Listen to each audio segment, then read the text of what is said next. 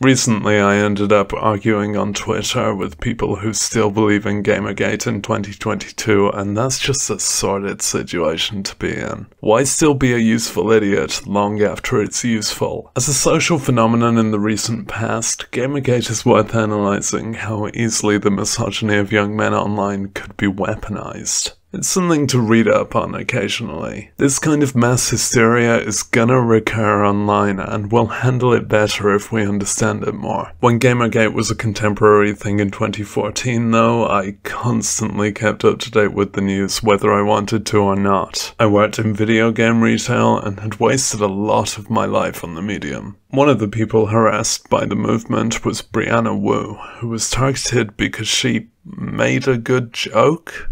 I've not kept up with Brianna, but one thing I know about her from Gamergate is the claim that she was caught faking her own harassment, and I think I figure I even believed that a bit, that she exacerbated things and wasn't fully to be trusted. I really never thought about it much on a conscious level, but I guess the gossip got me. In this recent Twitter conversation, and I use the term wrongly, one of the Gamergate NPCs brought up the auto-harassment thing, and I recognized the screenshot in question, but I'd never really read or investigated it in the past. I just knew it would come up a lot as their evidence against her. This time, though, I did something few Gamergaters could ever manage. I looked at it, I read it. The claim is that she posted harassment to herself without realizing she was using her own named account, and that description apparently goes with this image. Then it says knock yourselves out, and the post itself isn't harassment, but a question. I can't fully grasp the intent of the post as the context of the moment is now ancient by online standards. But this is someone willingly provoking her harassers using her own name. That's really easy to interpret if you just consider women to have intellectual agency, but I guess that's where Gamergaters fail. Here's a Know Your Meme commenter figuring it out years ago. Know Your Meme commenters are not known for their acuity. That's why this screenshot, this link, is not Wu harassing herself. But it doesn't really matter to people who want to believe it. Reactionary movements are set up on belief perseverance, clinging to what they already apparently know, accepting no new new news. No matter how easily you dismantle their evidence, they'll still return to it. It's their rhetorical comfort blanket in tatters. That's true of the claim that Zoe Quinn slept around for review scores, of a campaign